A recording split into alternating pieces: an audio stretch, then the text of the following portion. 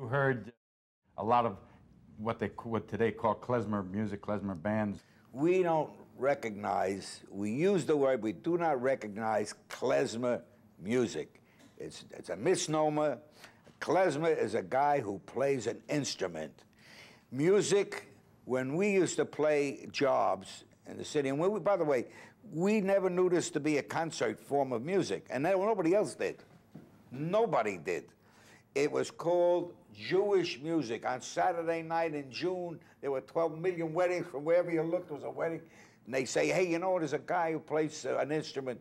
And the question that followed was always the same Does he play Jewish? Didn't even say the word music. One word, Jewish. Klezmer was not in our lexicon. It didn't, it wasn't a word. The klezmer was the player, whether he was a backyard player or he was a symphony player. Klezmer comes from, from a Hebrew word, and it's not considered what we call Jewish music. This, this is a very important thing you've said, and we can hear different opinions in a moment, but uh, that's the, the fact of the matter is that that's exactly, historically, I can tell you as a historian, you, this exactly the words that I use. There's no such thing. It, it's a misnomer. Klezmer means a musician. It doesn't specify what kind of musician. And uh, in the Middle Ages, the word was used. And obviously it didn't mean the kind of music that you heard or that we heard, totally different. The Yiddish music for a musician, which means musician, is kli zemer.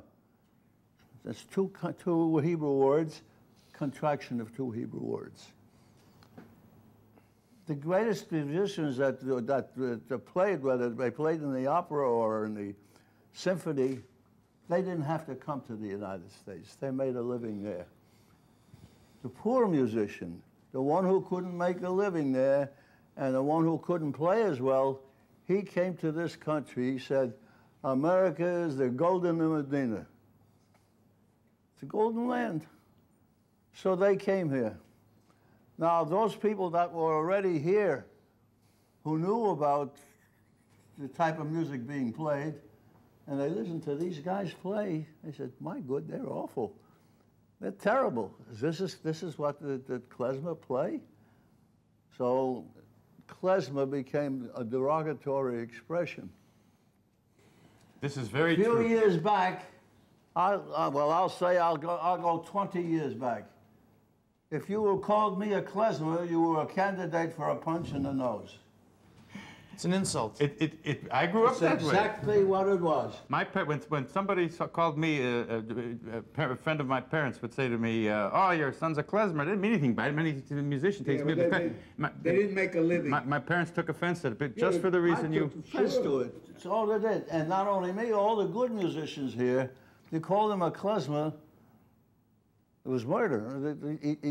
You were, like I said, a, a, a candidate for a punch in the nose we, we, we play this music, we don't think twice about it. It's music that we played all our lives. Why should all of a sudden this type of music be accepted not only in our immediate area, but into Europe, where it originally started and came to, to this country, went back to Europe again, and now Julie gets email, Japan, Australia, uh, New Zealand. New Zealand. We're going to Holland now. We're going now. We're going to Holland. We're going to Be uh, Antwerp, Belgium. We're going to. Uh, Repeat Canada, different cities. We're going to Canada again, uh, uh, uh, so on and so forth. They keep asking for us to come, and we're only playing stuff that we played all our lives.